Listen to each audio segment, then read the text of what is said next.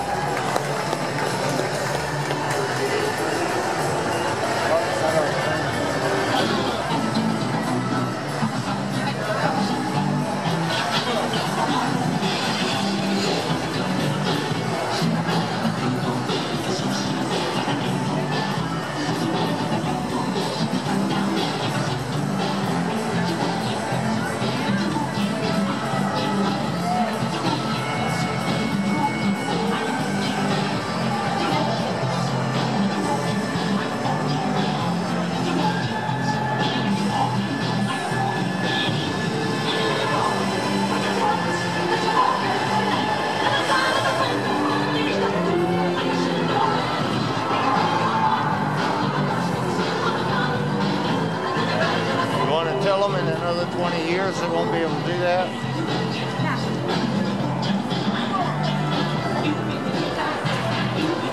Uh, he following the one to give her money.